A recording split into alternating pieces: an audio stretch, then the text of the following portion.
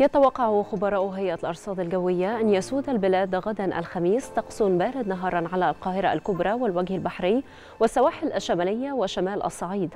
مائل للبرودة على جنوب الصعيد ومائل للدفء على جنوب سيناء. شديد البرودة ليلا على كافة الأنحاء. وفيما يلي بيان بدرجات الحرارة متوقعة غدا على محافظات ومدن الجمهورية.